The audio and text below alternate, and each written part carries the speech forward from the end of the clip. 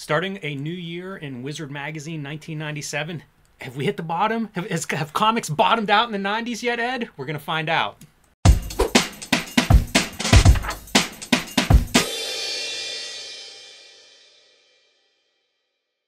Hello and welcome to your favorite YouTube channel, Cartoonist Kayfabe. My name is Jim Rugg. I'm Ed Piskor. We are looking at Wizard 66, February 1997. Before we do, I want to remind everybody that we are on the road to 100,000 subscribers and we need your help. Hit that subscribe button underneath this video if you haven't already. And be sure to share the videos that speak to you the most so that we can get more subscribers. I also want to remind everybody we are a daily comic book YouTube channel, over 1,700 videos in our back catalog. You can search those on the Cartoonist Kayfabe YouTube homepage by creator, by title, by character. You will find videos you love there. And finally, we are partially brought to you by the Cartoonist Kayfabe Patreon. There is a link below this video to our Patreon. Three different levels will get you access to our videos early, and at the King Kayfaber level, you'll get access to all of our videos first because you sit in on the recording session. Hello, King Kayfabers that are watching us right now as we record this. The benefits of that is you can beat the kayfabe effect. Whenever we show off a rare book or a hard to find, expensive book, you'll be the first one in line picking that up before it disappears from the aftermarket or goes up in price. Uh, this has happened many times in our history, so uh, check out the Cartoonist Kayfabe Patreon, see which level works best for you. And with that all said, Ed, Wizard Magazine 66, February 97. We just got done with the big five year anniversary issue of Wizard, and things look bleak here in 1997. And the first thing I noticed when I pulled this issue this week, it's a thin issue. What this means, and everybody who's paid attention to magazines over the last 20 years have watched these magazines go from giant, stuffed full of advertising magazines down into almost nothing. That is what I see whenever I see this issue. And uh, we've talked about that on previous episodes. Made me think, what all has changed in Wizard Magazine in the five years we've been covering it? One of the st- standouts, there was no manga in those first couple of years worth of Wizard Magazine. So, kind of interesting as we go through this to kind of look and think. Wizard continues to evolve in an effort to keep their fan base alive. And uh, it'll be interesting to kind of see how they are almost feeling in the darkness to try to like stop plummeting sales. Well, that's that's true, and and to be honest, I do not think that the Wizard sales, personally, for that business were were really plummeting. I, th- I think that they were, you know, on on the rise, and and uh, I think some of that is even evidence with our videos when we put these things out each week.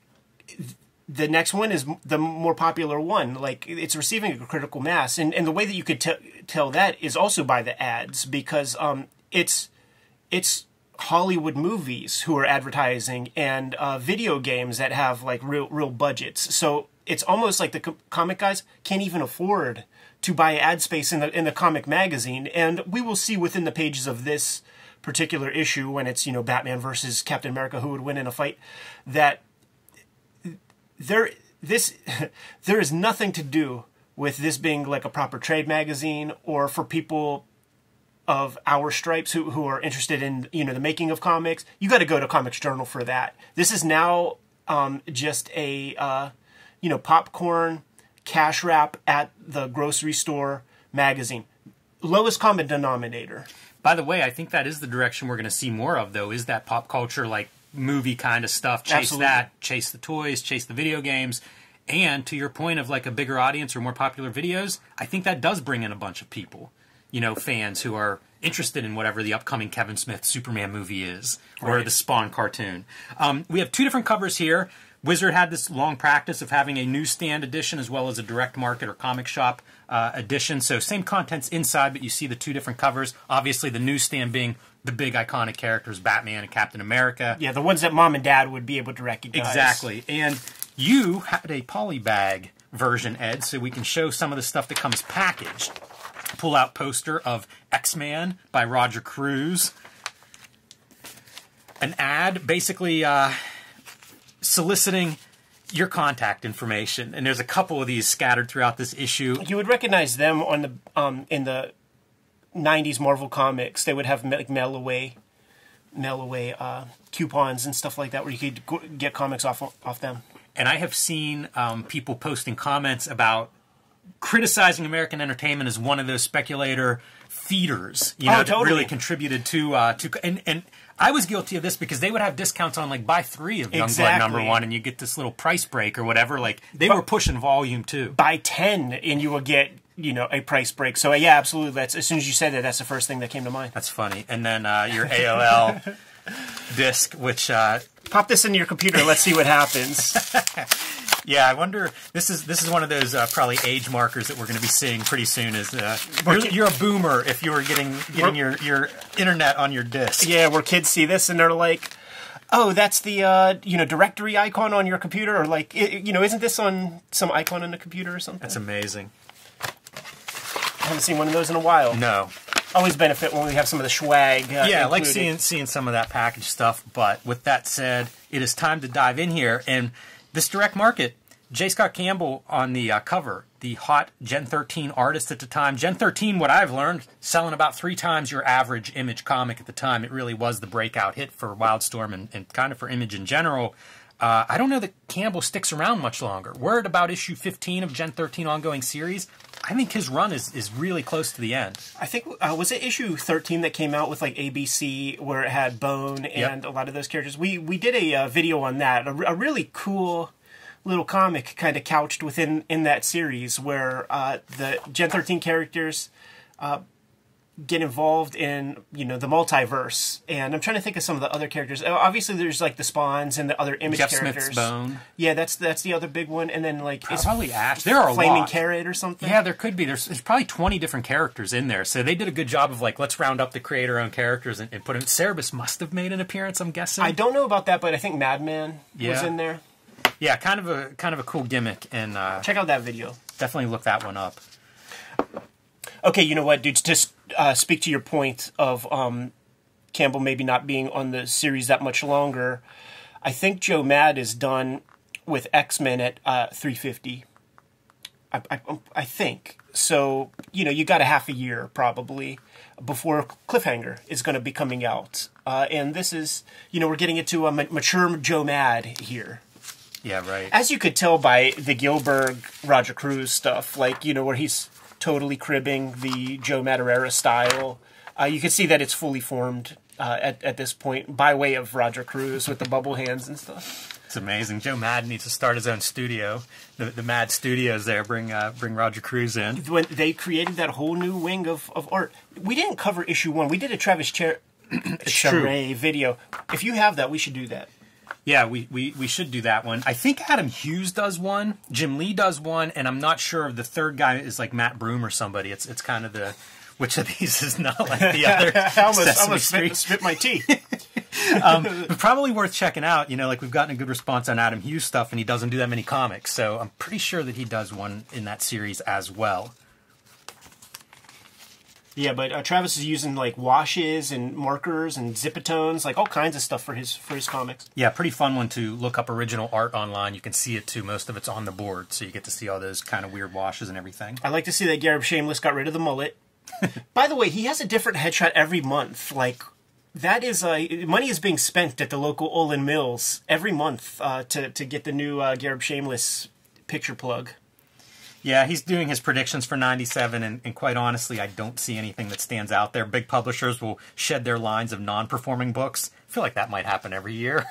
It's, it's probably like common uh, publishing practices. Um, none of the letters stood out to me this this issue. Anything popped for you? There's more talk of the uh, the tattoo stuff going back and forth, which is, Tattoo Gate here. which has now replaced the uh, you know Iron Man versus uh, X Men or whatever. Uh, somebody in the comments made mention that in New York City, tattooing was illegal until 1997. Technically, yes, yeah, I saw that. that's that's wild. It is wild, and I guess I forget that there was a stigma against tattoos. You know, if, like in my mind, it's kind of over by the '90s, but I guess it wasn't. Yeah, and I'm sure that was like a technical thing, you know, one of those technical laws that like when, whenever we need a little cash infusion at, at the at the local borough, we go bust a tattoo shop. I feel like all of my friends got tattoos in the '90s, so in my mind, it's like, yeah, even even to this then. day, like I'm not going to blow the spot too much, but but there is there is like an element in the Pittsburgh tattoo game that that definitely controls the the the this stuff, man. little protection thing going. Jack Kirby's Fourth World. This is John Byrne. About the time I'm still into John Byrne a lot. And uh, he's going to write and draw Jack Kirby's Fourth World. I remember it was a cool thing that Jack Kirby was in the title. Uh, you know, since it's his characters and everything. Covers by Walt Simonson, and I mention that because a few years further down the road, we're going to get Walt Simon doing or Orion. Yeah. So you know, like he gets a crack at these characters as well. I need to look and see if I have this, but this may be an issue that is uh, is worth taking a look at. See what John Byrne did with his Dream dream cast. I always like, uh, you know, Sailor Moon went away, and that and that really hurt people. And what do you see right there, man? Because there were people who were like, "What are you talking about? You had to wake up early to go to go watch the anime." What's that say right there, man? Had to wake up at five thirty a.m. before school. I'm telling you, they would put anime for for a decade. Uh, it would be on at like 5.30 in the morning you had to wake Yeah. up extra early and, and i said it before i'm like yo girl, girls weren't waking up that early but like dudes were to, to fuck with uh, that stuff and, but it just wasn't enough I had this issue, man. So I, I remember it fondly, like that that Martha Washington goes to war thing. Fondly isn't the word actually, but you know what I'm saying. How about Dynamic Forces? They're still in the game doing the same kind of kind of grift that they were doing even back then. That's not dynamite, right? That's a separate. That's not. I do think it's a different business. Yeah. Um, but uh, yeah, both of them are. Well, I guess Dynamite, the publisher, isn't here, but yeah, Dynamic Forces still does the same bullshit. Um, I thought the letter art was interesting to note. a Couple of manga anime envelopes. Yeah, shouts So- to Akira Toriyama, man. That that fucking stings real bad to me, Jimmy. It really, really does. It hurts. So I couldn't. I read this and I had to check the cover date and be like, "Is this an April Fool's issue?" It's really bizarre. Like they talk about taking time off, and they're going to have somebody else, Grant Morrison and, and Mark Millar, do twelve issues, and then they're going to come back because they have like stories leading up to issue one fifty. It was just really strange reading this. Yeah, but what uh, what is noteworthy is that Mark Millar is still deeply connected with Grant Morrison. It's senpai kohai shit, and it's it's been that way for several years. At, at well, several months at this point, I guess. They co-wrote quite a few books. Yeah, yeah, totally. And and uh, you know, earlier conversation with Morrison, he brought up Mark Millar. We interviewed Mark Millar, and he talked about like whenever he got his foot in the door, he didn't give a fuck what you wanted him to write. He would write the who's who entries for characters, what, what, whatever. Um, so you know, that's a noteworthy piece. X Men Wildcats crossover. Mentioned that we saw the ad in the front, and uh, I didn't realize Scott. That's a Scott Lobdell, so maybe that's his uh, his his high mark in the comics business. And and what uh, pushed Travis uh, Charest out of America and to go to go to France to learn how, how to make good comics.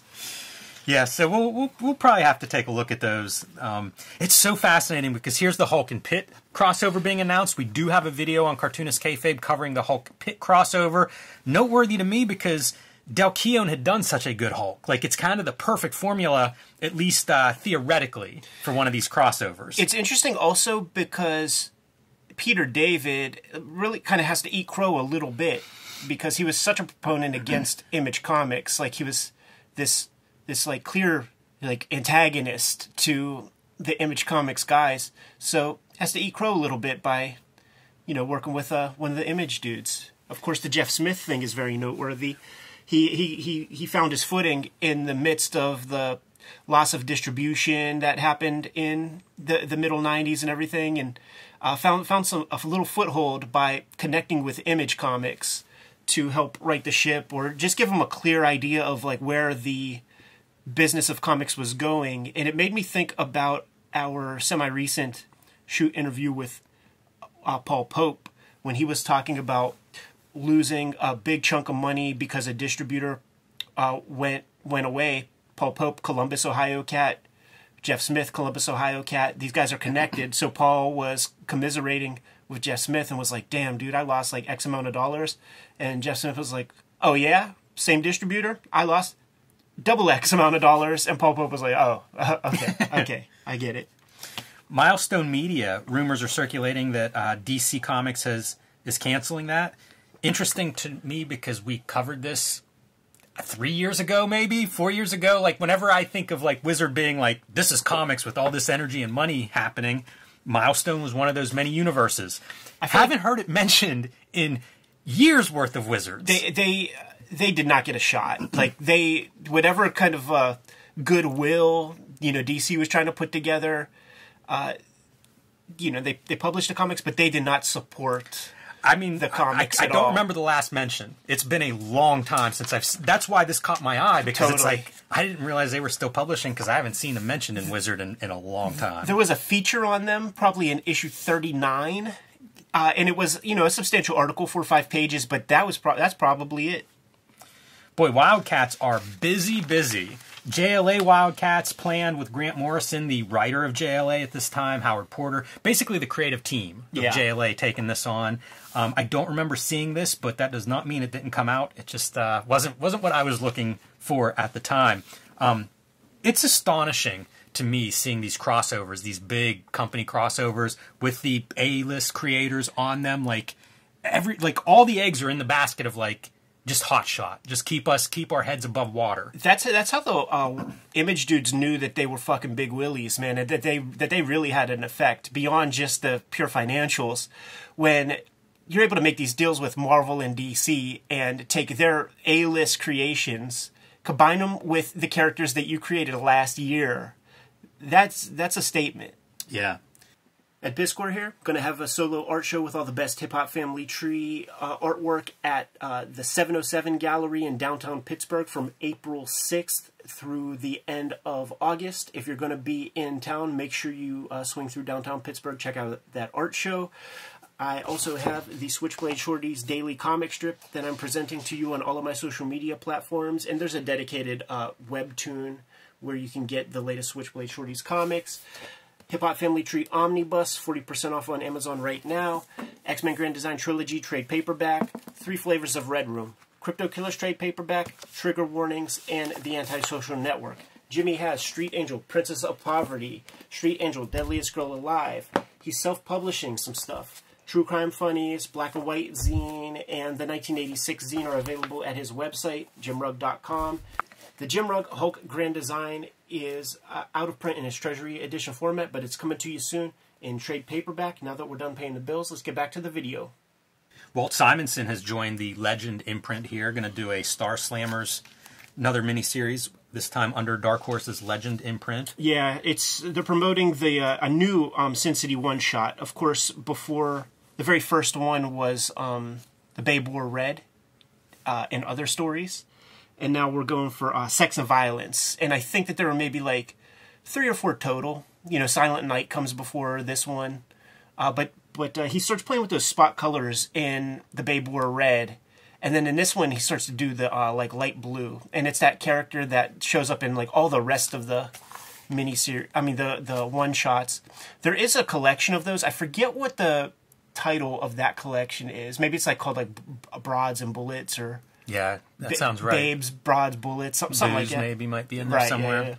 yeah. Uh, Marvel lets 115 employees go, laid off 115 people. Makes me curious how many people were actually working there. Uh, reported a $12.5 million third quarter loss. Its sixth consecutive quarterly loss. The announcement of layoffs comes one week after financier Ron Perelman, not to be confused with the actor from Hellboy, uh, whose holding company controls about 80% of the company, offered to pay $350 million for new Marvel shares of stock in a bid to keep the company out of bankruptcy. Yeah, so Good we're starting to build. Good money after bad. Yes, uh, although, you know, who knows what Perelman's plans are, because that's what's going to be coming up once they get into bankruptcy and a couple of parties are fighting over control. He's going to Mitt Romney that shit, man. Like, uh, you know, sell, sell the bones.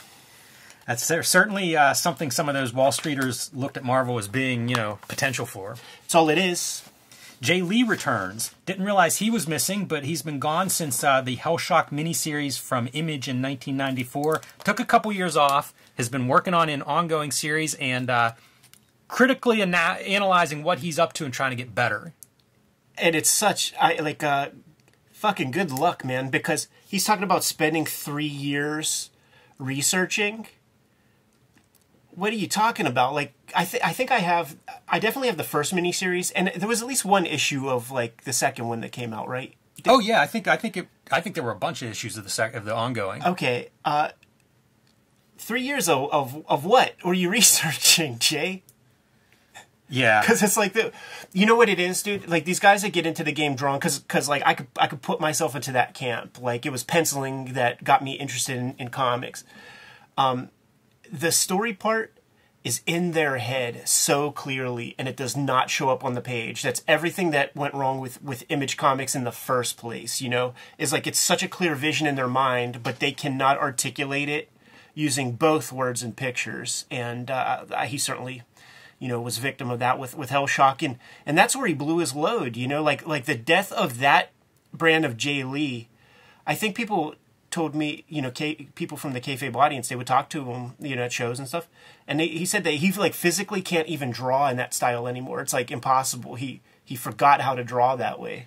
It makes me sad. I think he's a very good artist uh, in in what in several eras of his style. But Yeah, that one that spoke to me was that one where he's doing like nine pages a day, Namor, Youngblood Strike Files, Wildcats Trilogy, just just scra- dumping ink on the page as it looked like. Yeah. And uh, I really love that stuff. I still look at that stuff and think it's awesome, and uh, kind of bums me out. But a lot of artists go through this. You know, in some ways, we've talked about Silvestri a lot over the last several issues of Wizard. And I feel like he's a guy that did that. Went from doing bi-weekly issues of X-Men to like, I run the company. I'll take all the time I want. I'll make it exactly how I want. And it's like, good for them, but man, I love that energy that would come from like deadlines and maybe a little bit overbooked. I lingered here just to kind of show like what's going on with Wizard Online, you know, the various chats and clubs and things that you could go and take part in because I have a feeling like there were fans that really engaged that way, you know, found their peers and people to talk about their comics with. Yeah. Uh, oh, dude, you go to go back real quick one time. Check this out, man. Big Apple Comic Con. We we just did that in um, we just did that in uh, December. And if you take a look at the venue, St. Paul's Church Auditorium. It's a fancy word for church basement. And I've been to those in like you know 2000, 2001. Yeah, it's fascinating. Wonder how long that, that kept going because I feel like they, they changed at some point whenever the venue wasn't ready one day for one of their shows as a uh, as a pivot moment in their history. When we were looking at Legend news a minute ago, I skipped all the Mike Allred stuff because I knew this was going to be called out here. Um, has a huge year plan for for Mike Allred. So Superman Madman three issue crossover. Again, everybody's getting on board these crossovers. I feel like this is quite an achievement for Allred. I like Allred and Madman, but up to this point, like, you know, it's a dark horse book, and he's probably not the A list guy in the Legends lineup at this time. Relatively a newcomer. And uh, that's a pretty good score, I think, to be able to get three issues prestige format with Superman. Uh, it's not prestige format. Isn't it? Aren't they oversized? If if they if they promote it that way, that it didn't turn out that way. Because because I have I have two of the three, and they're just they're just issues. okay. Yeah. And uh, you know, I was fully on board. I was fully in the the Allred camp at this moment. So I was scooping that up. And Red Rocket Seven, I said it in the shoot interview. Um, it it was a big inspiration for uh, Hip Hop Family Tree, in that he creates this like intergalactic Forrest Gump, we could call him, and he goes through sort of the early history of rock and roll from you know Chuck Berry, Elvis, Bowie, all that, and these are characters in the comic, and I just didn't even know that that was even legal, that you could even do that, and the characters were all spot on, great, not not great at capturing likenesses, as opposed to caricatures. You know, it's not a it's not a Mort Drucker approach or anything like that. But uh, super, super, super influential comic to me. I don't think it sold because it was the size of record albums. And uh, of course, to, to this day, retailers are, are They hate it. yeah, they they That's how you can judge like the uh, the boomer retailer. yeah, totally. doesn't fit in the box. Uh, and finally, Madman's schedule update. So, like, he's got his whole year planned out here with uh, pretty ambitious, you know, three issues of the Superman crossover. Red Rocket 7, I think, was seven issues. And then a Madman, the next Madman story arc starting in August. By being, you know, not Frank Miller or, you know, one of the the, the sort of big willies, John Byrnes, he really benefited from hitting his marks to us, the buying public. Yes. I, I really appreciated that the books would come out when he said they would come out.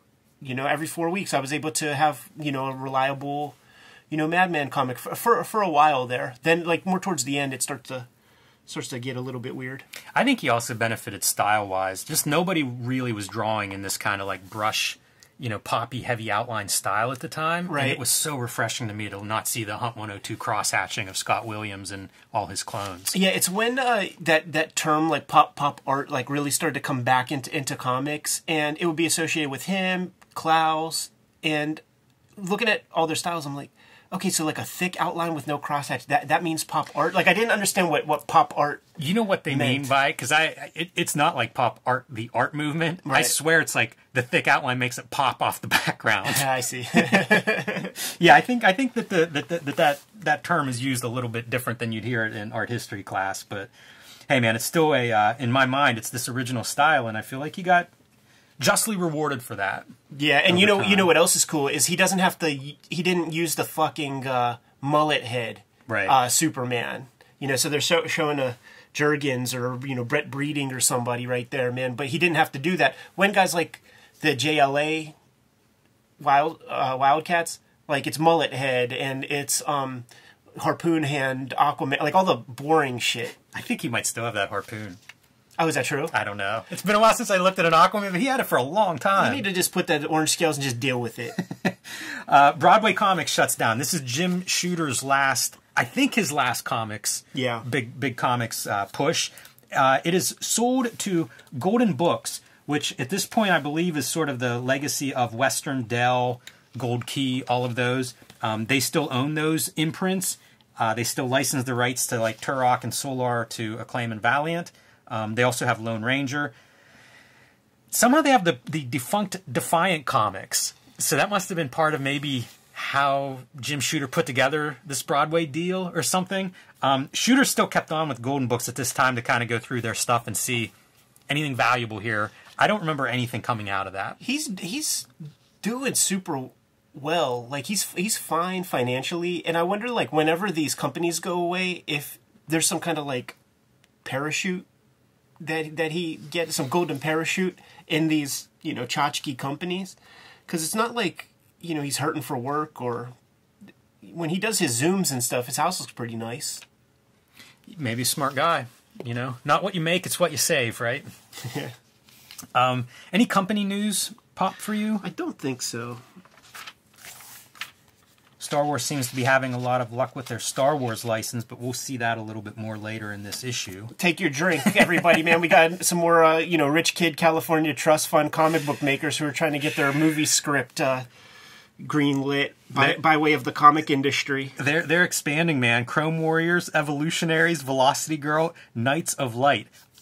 I've Ed, I've spent many, many hours digging through quarter bins, fifty cent boxes, dollar boxes. I don't remember seeing any of these ever. Half page ad in a magazine that has half page ads from, you know, big willy video game companies and stuff. These are those kind of regional comics that I bet you if we went digging around Yeah. WonderCon in the dollar bins, like we would we would find the stuff there because of course this is California based. Probably right. Uh, where are they now? Catching up with Ron Lim.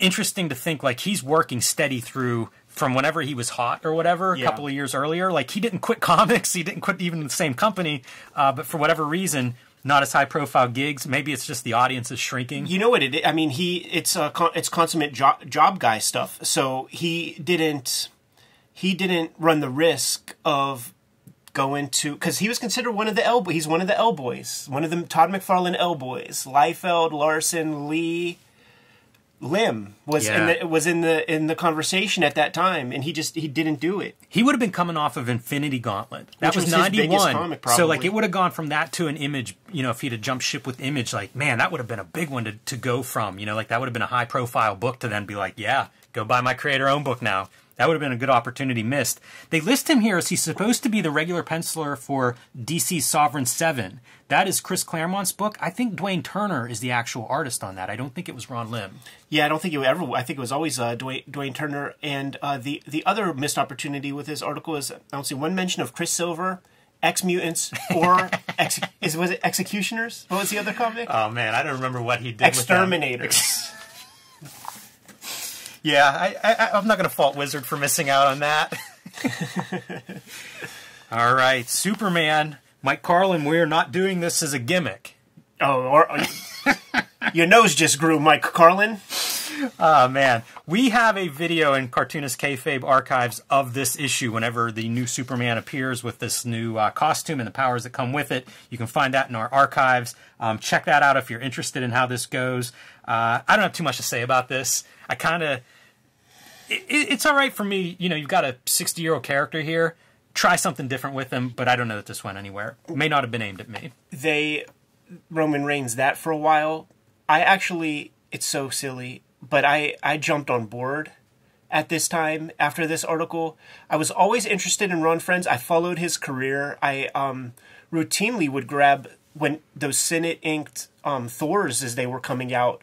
I wasn't so interested in the scratchy inkers uh, on um, Thunderstrike whenever whenever that came out. Um, but it was a big deal whenever Frenz went to DC and was doing mullet Yes. head Superman. It- you know, it was like they really poached uh, uh, a Marvel lifer. You know, somebody who was doing Marvel comics for probably 15 years at that at that.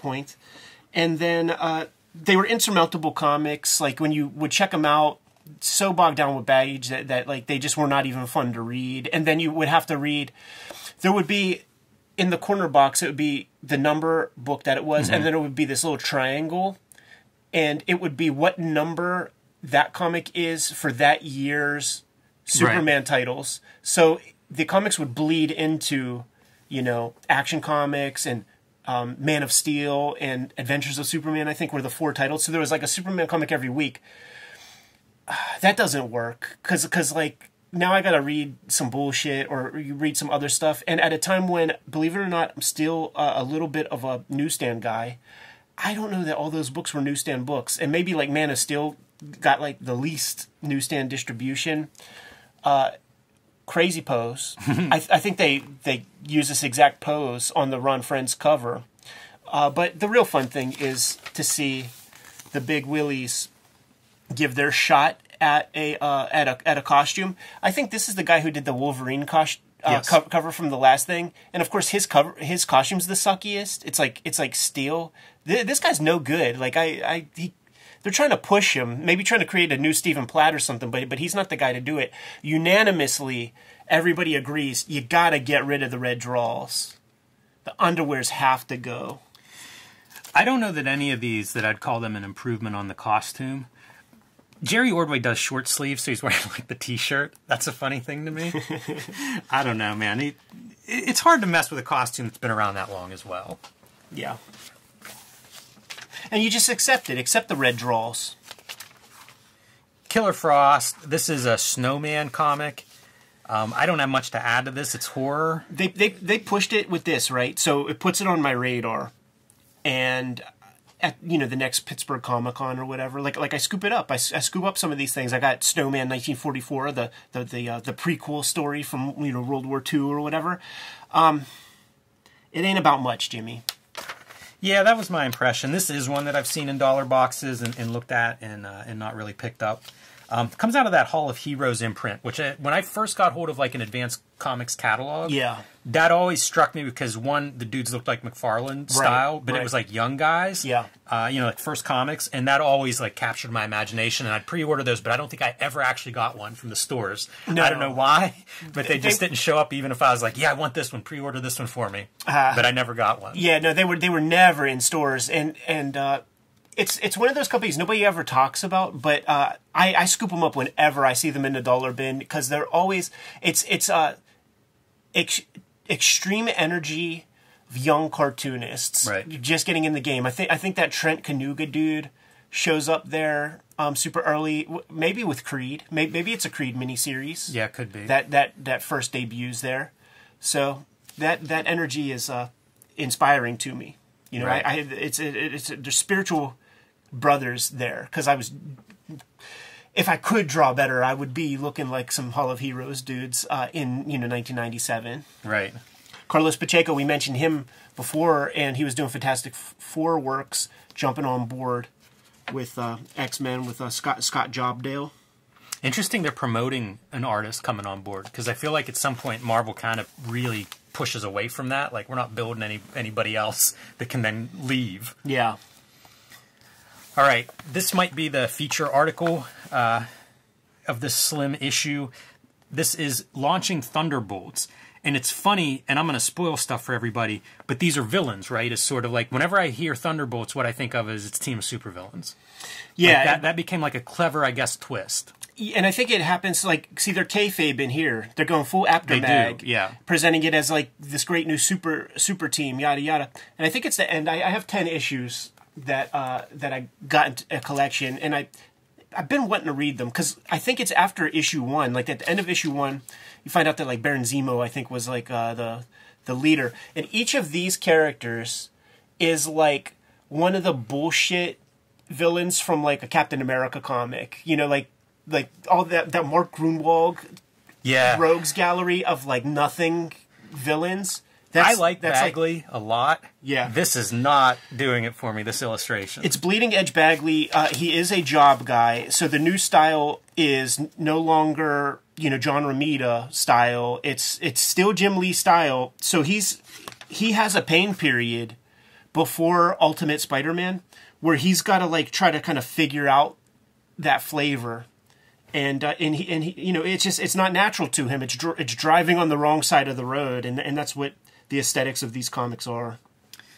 Yeah, I've never read any of these. Uh, I'd be kind of curious if you want to dig one out, if you think it's worthy of uh, us reading it. I, w- I would be down for trying it.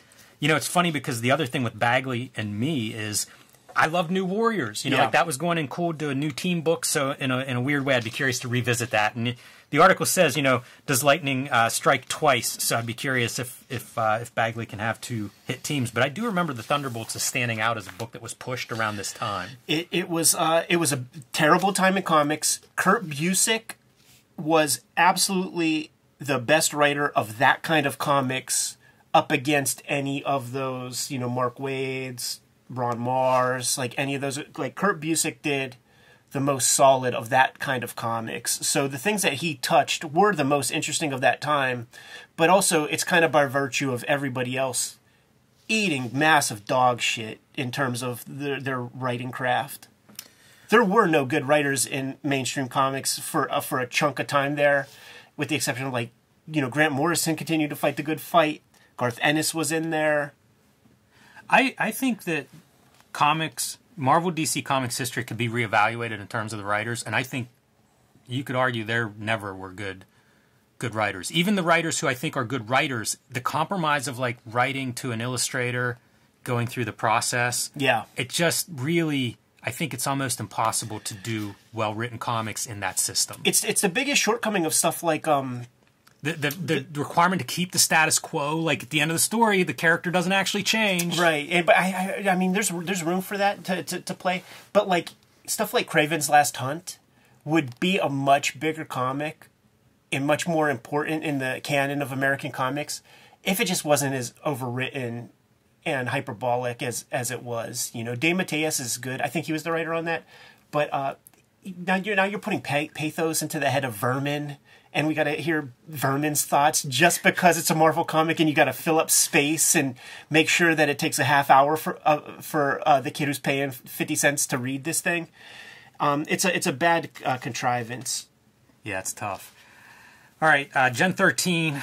I mentioned it at the beginning. One of the uh, kind of surprise hits, probably one of the few popular books at this time period. So we're getting an overview of that. And I was not reading Gen 13 at the time. I've gone back and scooped up some of those. I read the very initial stuff Yeah. and then just drifted away. Yeah. So it's interesting to kind of see what they're presenting here, which is good girl art, but also like crude jokes and kind of a. They talk about pushing the limits and like they sort of limit themselves, and there are things that they pull back. This was a panel they took out on their own. Uh, they don't have comics code, so that's not who's dictating this, but they try to think of it as like I think prime time. One of them says something you'd see on television prime time. Um, it's interesting the idea of having a book and then trying to reverse engineer why is this popular. And I swear with with the I think J. Scott Campbell is a big reason why it's popular. There's a lot of reasons, and I think I mean he's of course he's he's a big uh, part of that. I bet you part of the reason why you um, drifted away was the infrequent schedule of it because you could never count on it. It's the direct opposite of what I said about Allred, where Yeah. you know he promotes something and and hit his marks. Uh, it would be so infrequent when these issues would come, and you would just cool down. You like you would just kind of like get over it. Um, this is a snapshot of a time period because when we flip the page and we talk and, and there's a little piece about all the you know crudity and stuff it's it's fucking weak and, and corny but we do have retrospect to look back on this stuff and uh, you can find patterns um, and one of the things that I think about this compared to the other books of the day is it's simply different. Um, it's not unlike, and it's not about the you know the physical nature of the, of the, su- the you know the subject matter or whatever, but like Howard the Duck comes out was a massive, massive hit. It was just different. It was just like not another fucking you know Human Fly or you know one of those you know third tier superhero comics. And with what Wildstorm was presenting, inter- you could just put put the Stormwatch title on a Wildcats comic. Go crazy because they might as well be the same thing. They just ha- don't have as good art. Yeah. Uh, so then you present this thing that still kind of has the spirit, but you're actually allowed to have the slightest glimmer of personality in it. The slightest, because this is still, it's not good comics, and uh, it still is a pro- product of its time. It's dated material, but it at least has a little bit of joy put Yeah, into it. and when I say uh, J. Scott Campbell, it's not just drawing style, but it is that cartoon. Yeah. Which was just not present in the rest of the Wildstorm stuff, seemed to have no sense of humor. Exactly. And, and this stuff, maybe it's not uh, side splitting funny, but it did seem to have some of that joy of cartooning present. Uh, mention of the Gen 13 bootleg spin off series. This is like your Legends of the Dark Knight Batman, except with Gen 13. And there's probably a few of these that we should look at. You know, Simonson, uh, the Simonsons team up on an issue. Uh, there's some different different artists that fill in here. I always think of that that um, Adam Hughes Ordinary Heroes issues as kind of unofficially the boot bootleg start. Yeah, probably the start of it. Yeah, for sure. We did we did episode on that. We did episode on the Adam Warren trilogy I love that one. of issues, and I do think that it would um, look good on the channel because you have the t- title bootleg in there. I've I've had the Walt Simonson and the Weezie one pulled for Yeah, years for that. us to do. There's one that uh, Kevin Nowlan does the finishes on, so it looks like a Kevin Nowlan art job.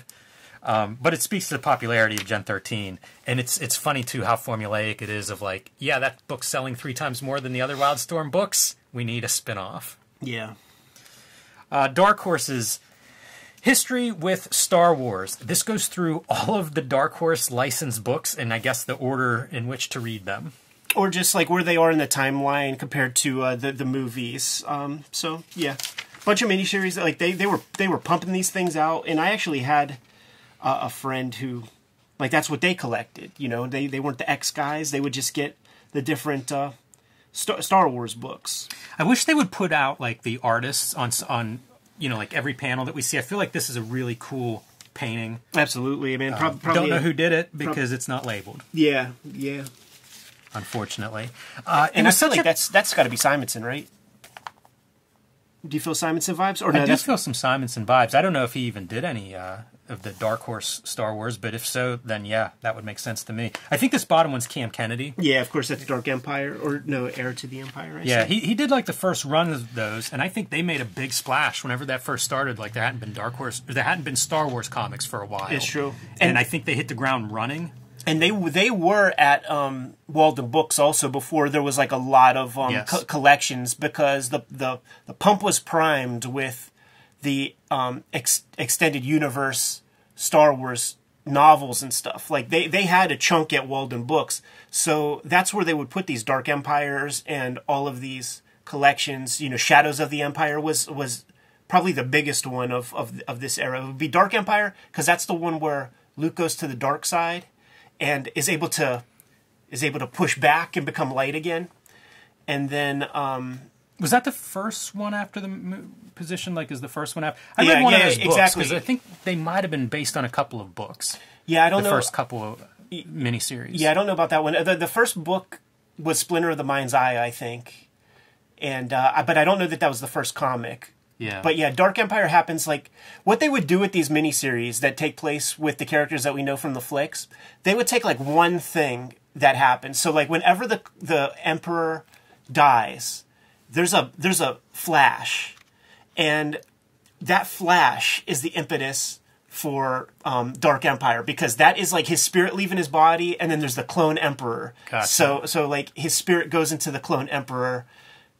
Luke goes to the dark side, kills the clone emperor or whatever, and then comes back to the light. And that's never been done as a Jedi with the Force. And it explained like how that is so um, amazing that, that he was able to do that. I remember reading because like I actually inherited a bunch of these Star Wars comics off of uh, my friend. There's a there's a little um, mark on Boba Fett's helmet, like a little fucking bullet bullet right. ricochet. So they there's a whole comic about how that happens.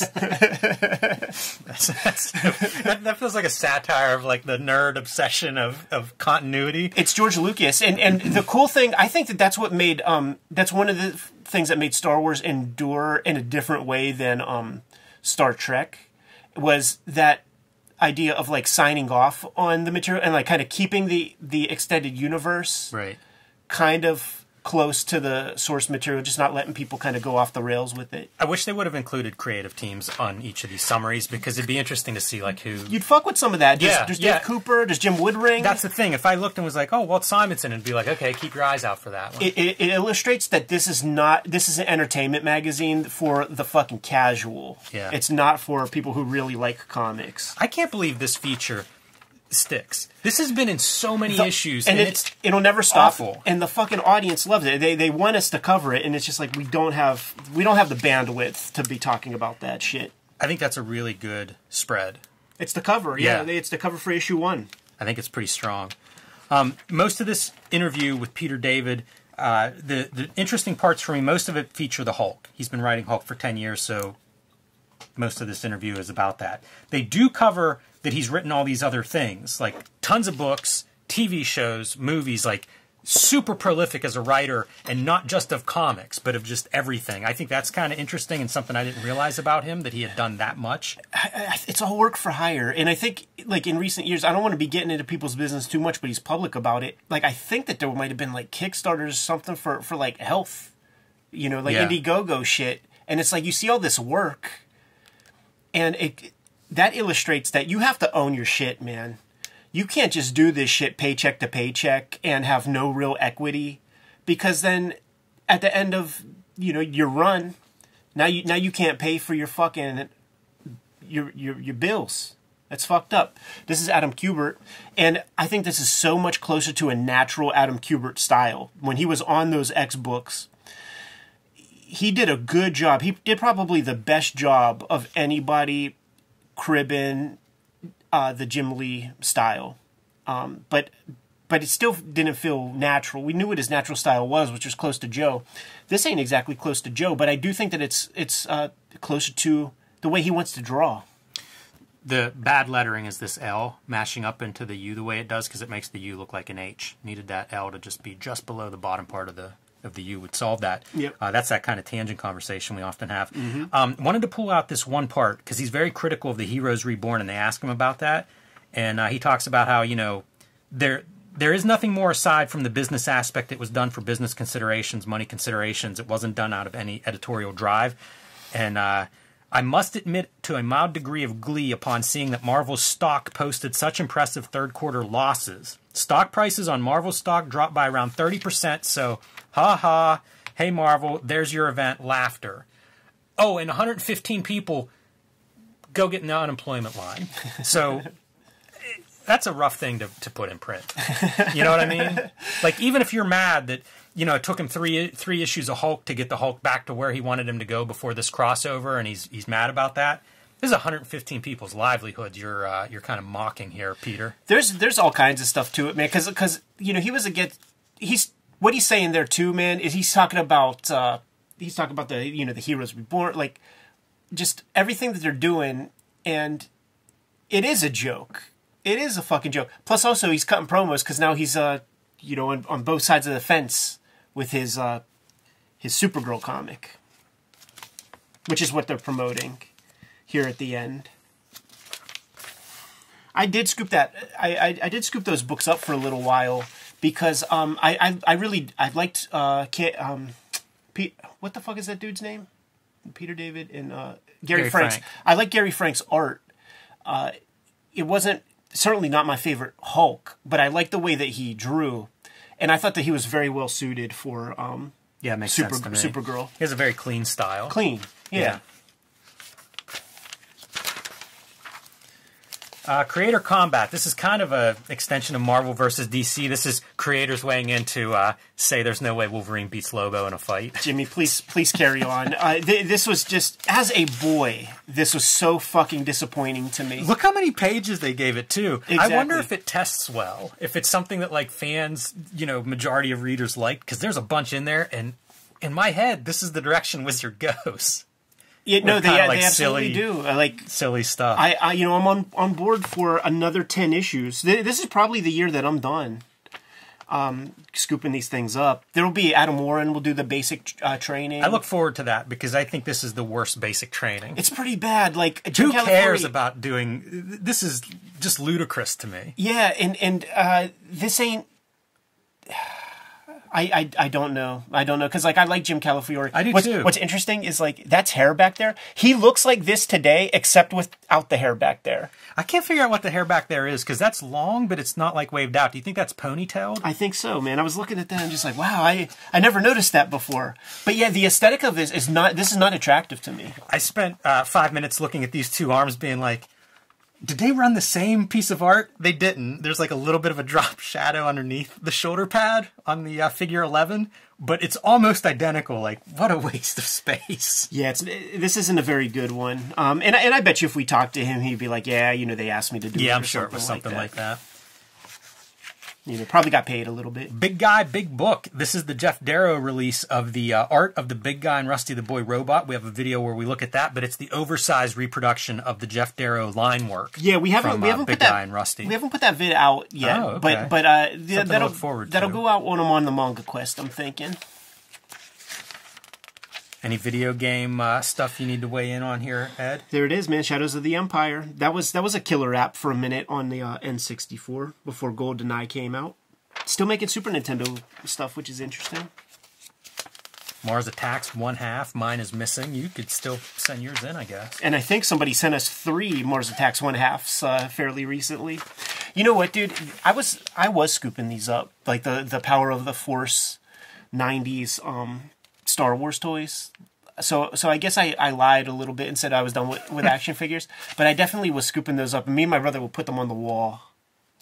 And then uh, at, at one point when I moved out, he went to go sell them, and we had you know seventy of them or something. And I think he got sixty bucks. Jeez. you know what? I can see how this is a, uh, I guess, a, a guy who designs or redesigns figures. Um, I can see how this works as a magazine, like a whole toy magazine that would Yeah. be showcasing the new toys. They look cool in photos, but then also kind of the professional behind the scenes part of that too. Like, how do you do this if that's what you want to do? it's it, it was the next speculator market, probably spearheaded, to be honest, by by McFarlane. He would put out stuff and say that uh, you know no gimmicks, no this, no that. But um, the overkill came with a um, little uh, what do you call that, man? The little uh, par- parking parking uh, meter, and the, there were three different parking meters, and then people were chasing after the one.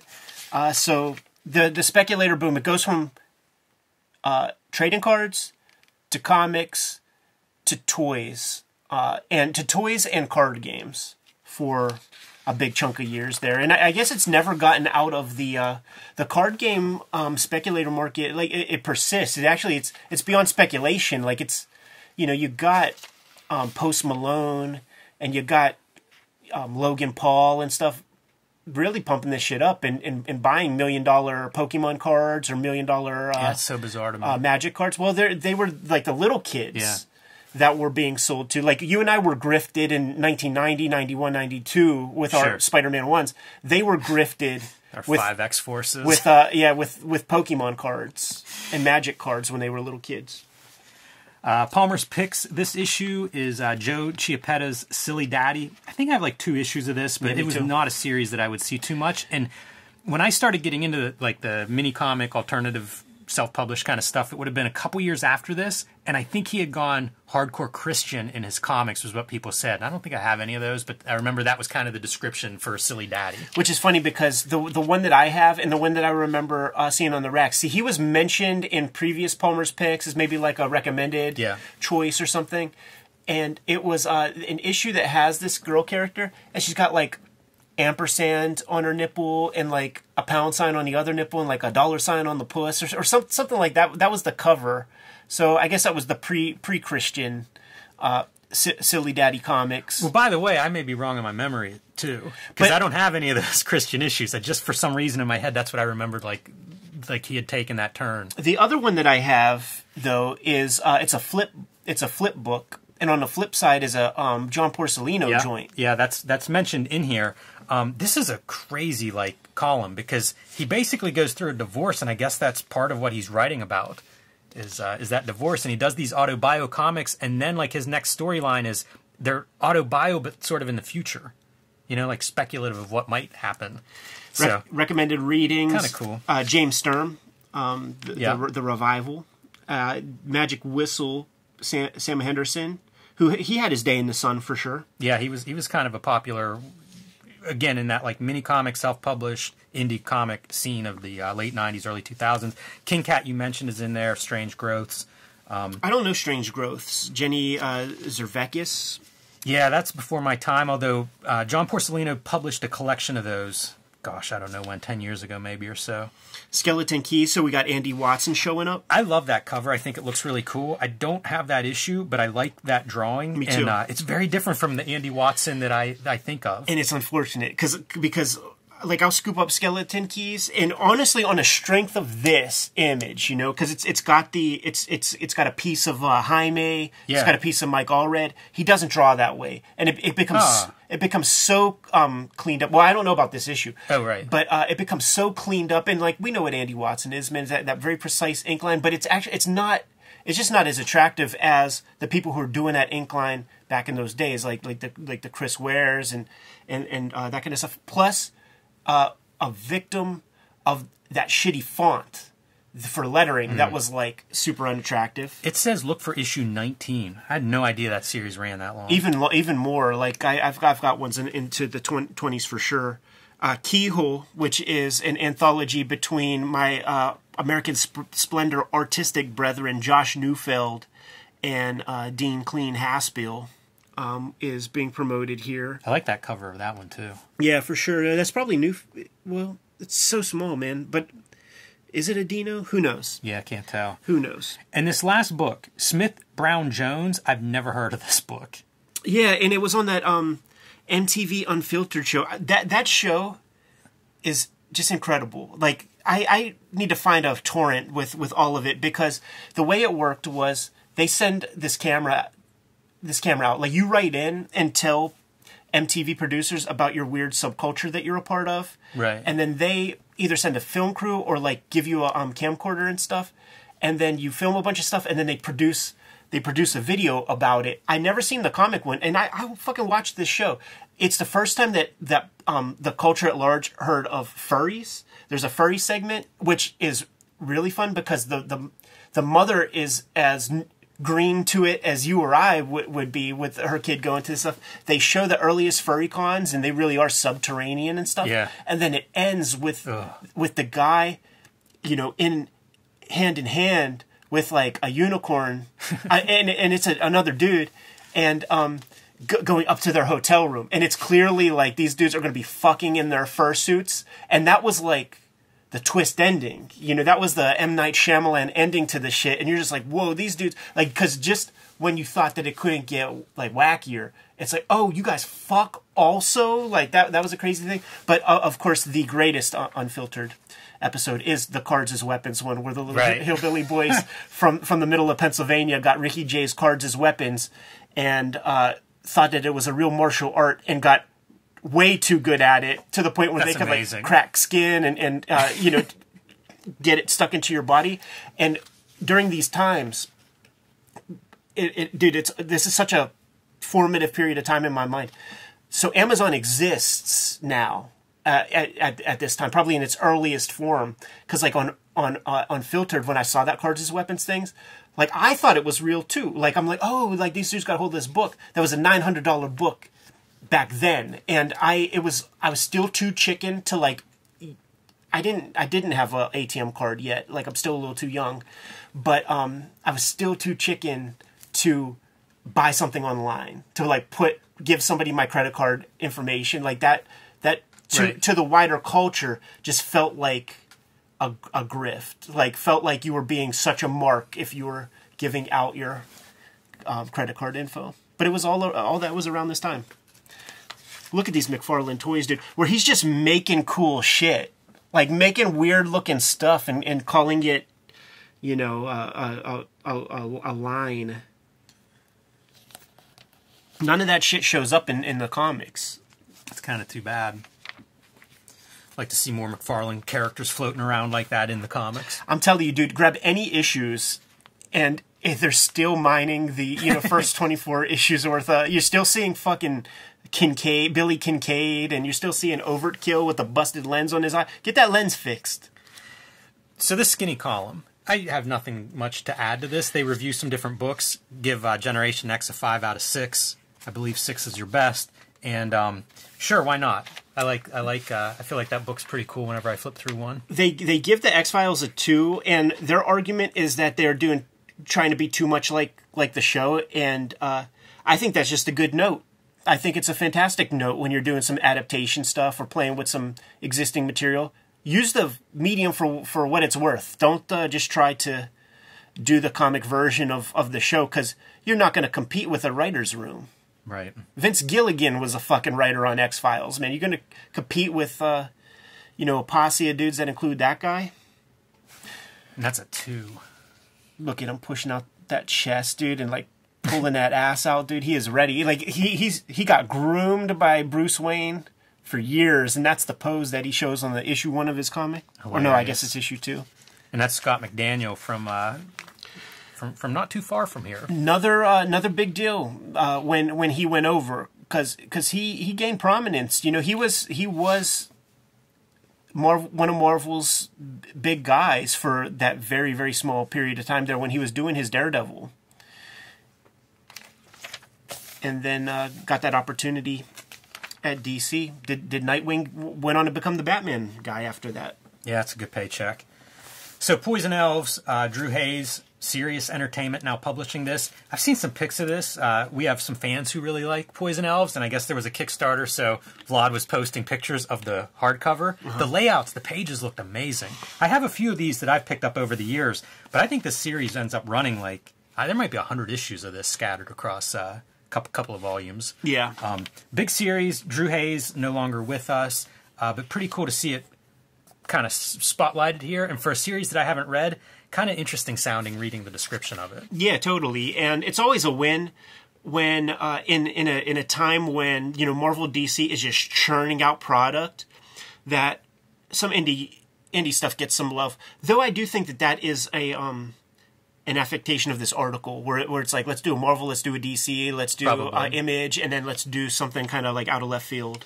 Yeah. Looks cool though. Again, one of these books. I feel like we've said it in the past, but I'm I'm, I'm ready to give a couple issues of that a read. And uh, the usual picks. Again, nothing really popped out to me in this list. Yeah. Batman Long Halloween continues on. Right. Black That's- Lamb, that's Tim Truman doing his thing. Pretty cool.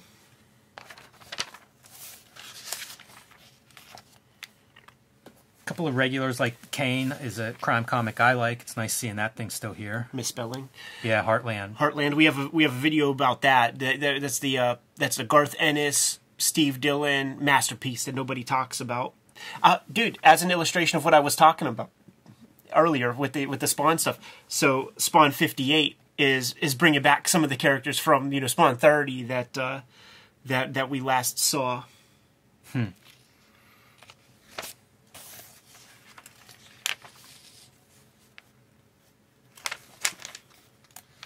All right, Trailer Park.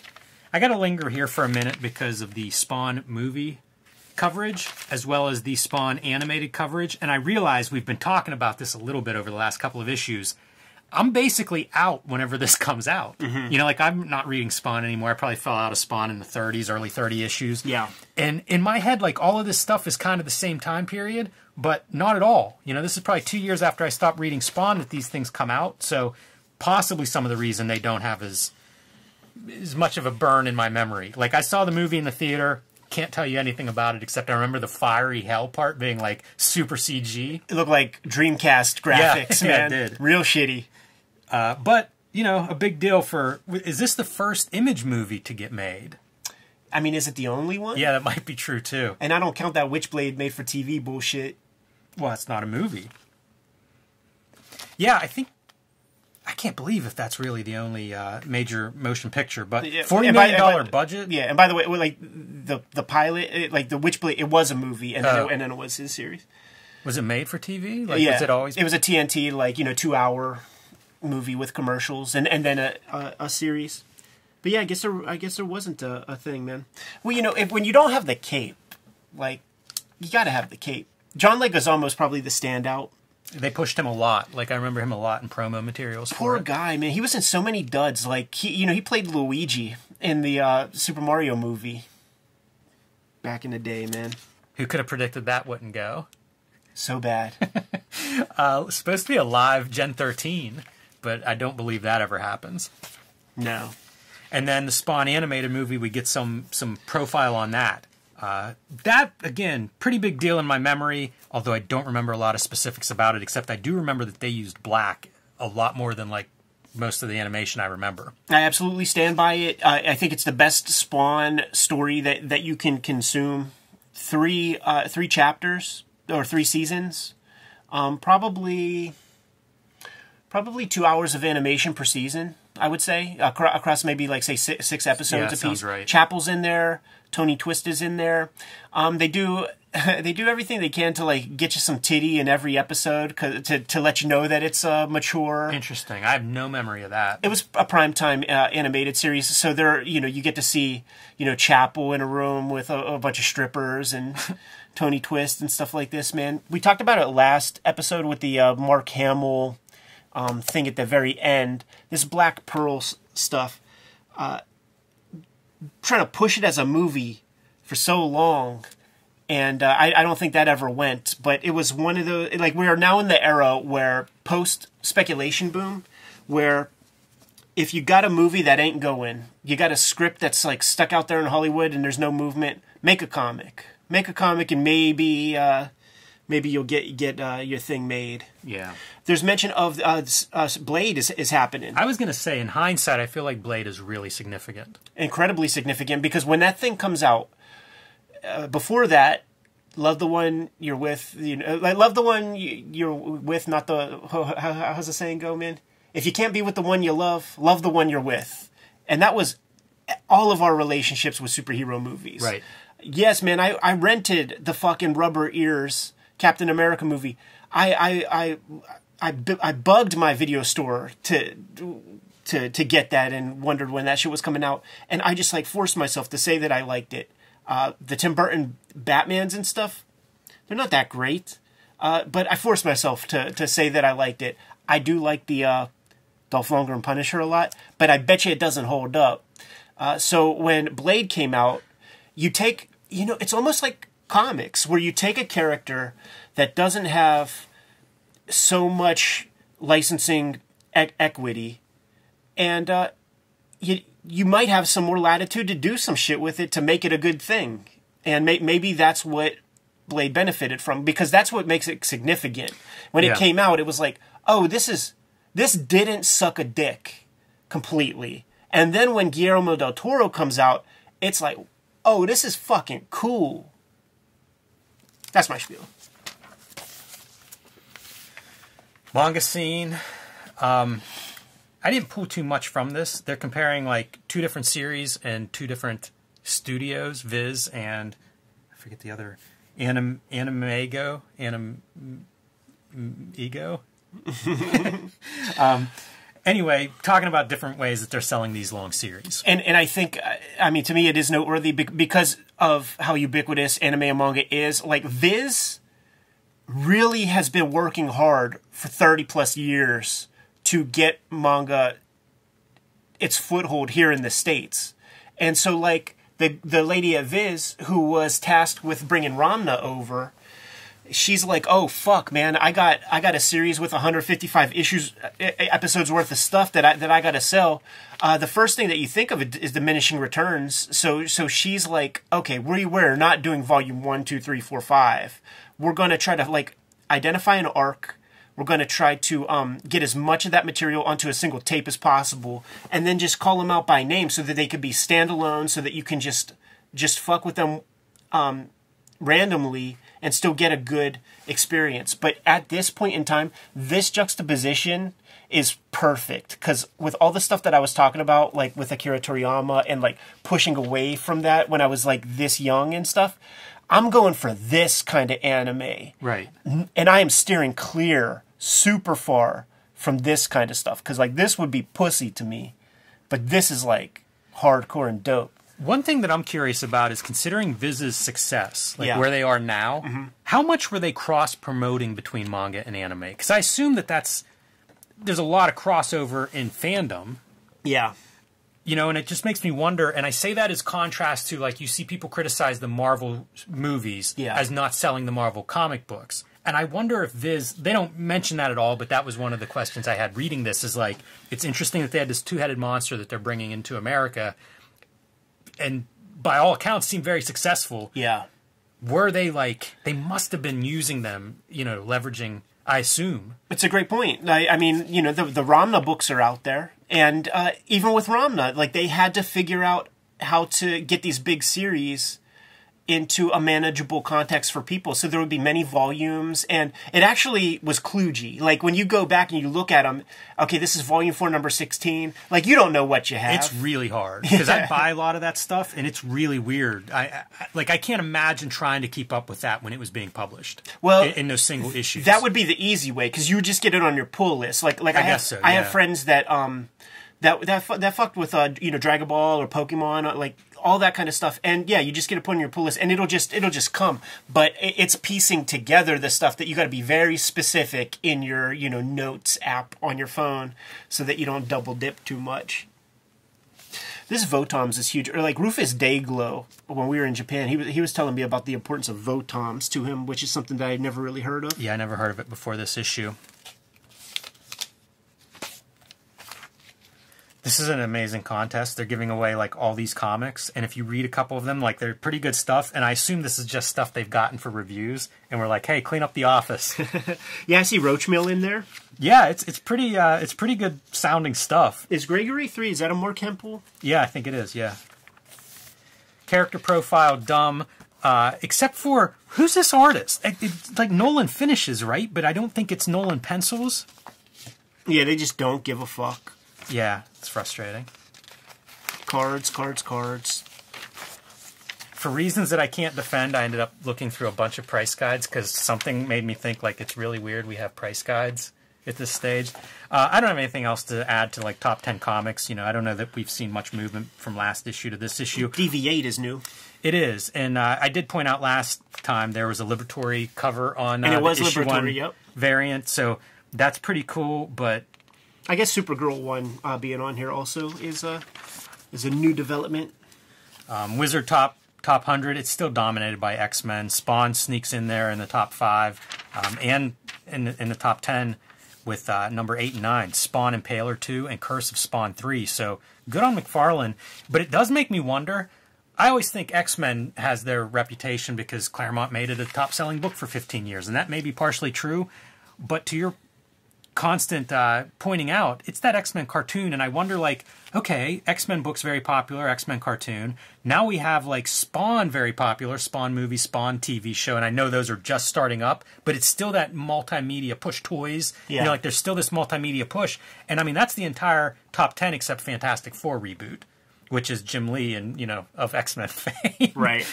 So I do wonder like how much that other media may be responsible for where these comics are uh, selling. Yeah, very much so. I think. Friend of the show, Sean Chen gets a little uh, wizard up and comer deal. Yeah, I thought about pulling out. He self-published a book that I got from him at Baltimore a couple years ago. That was really cool, and I can't remember the name of it. Yeah, I just saw it recently. Uh, it, it uses that like imagery from what's that Criterion Collection movie, man? A black and white joint. Uh, uh, Andrei Rublev or or uh, uh, man, I forget. But oh, uh, Seventh Seal. maybe, maybe. Yeah, I can't remember if that's the. the You know what I'm talking right- about, I do know. Yeah, I do. Now, now it's a book and a movie. I can't think of it. You're really taxing my old brain. Uh, but it's a really cool book because he he, wrote. You know, it's it's self uh, created. But then he has notes in the book part. I think it was an Instagram comic to start with, and then when Mm-hmm. he published the book, he has like running commentary, like a director's commentary that I thought was really interesting. Mike Grell gets creative spotlight at the beginning of the uh, price guide there. Yeah, and I didn't have anything to to pull out of these. I think that you're looking at Miracle Man is what sent me down the rabbit hole of like I ended up looking up like the Crow. I think the first Crow is like ninety dollars in this issue. Yeah. Does the uh, does Miracle Man? Uh, does the price increase there? It No- was twelve no dollars change here. Yeah. But it's just funny to me because I think of comics as really struggling at this time, and yet we're still trading. And also, I, I just I wonder how many people ran this price guide as like important. You know, like it's a lot of pages to print in a magazine in full color. Yeah. Every issue, and it's like were stores using this? We're like. At this point, were fans trying to figure out how to turn their collections into that dollar amount? Yeah, that's that's that's more what it was. Like the stores fucking hated this thing, man, because the people who would come in to try to liquidate were going by wizard prices, and they're overstreet. Yeah.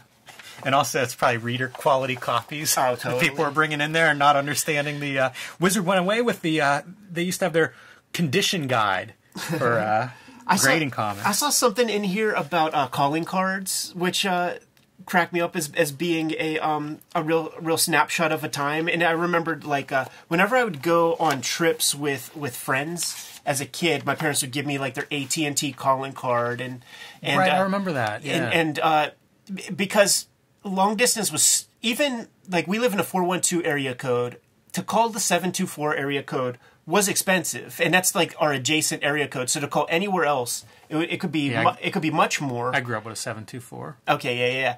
so um you would have to type in a sequence of maybe 30 numbers. It would be you call the 800 number for the card then you have your code and then you have the phone number that you're going to call. So my mom would give me that card whenever like in sixth grade i would go like camping with people just in case if there was an emergency and then uh, when i went to art school i wonder did, did your parents hook you up with this at, at, at college like mom gave me that same card and then i would talk to them on sundays for like five minutes or something. Like like it's not like we timed it or whatever, but we were conscious that like this is the meter is running. Yeah. And there was a very small amount of time, like it would be on Sundays, where uh, you, there's the, the payphone at the Kubert School Mansion. Pop in your million numbers and uh, chat with them because like I was right on the cusp of like the cheap cell phones. Like like we couldn't I couldn't afford that, um, but did the calling card thing. And then of course you remember the uh, Chris Rock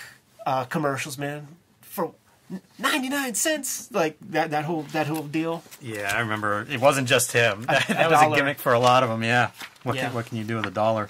This guest column. So these issues are after I was a reader. Yes. Kind of like these guest columns. Although that said, I don't get much out of this one.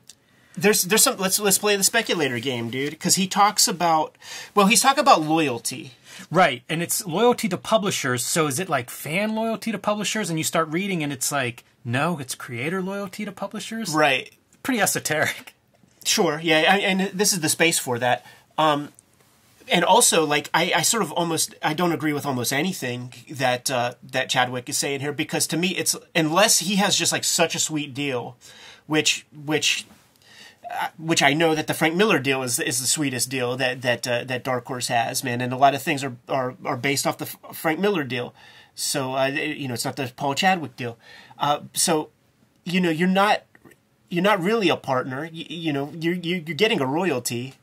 So uh, unless it's 50-50, that like we're like loyalty, I just don't understand that part. But the speculation game that we can play uh, is somewhere up here.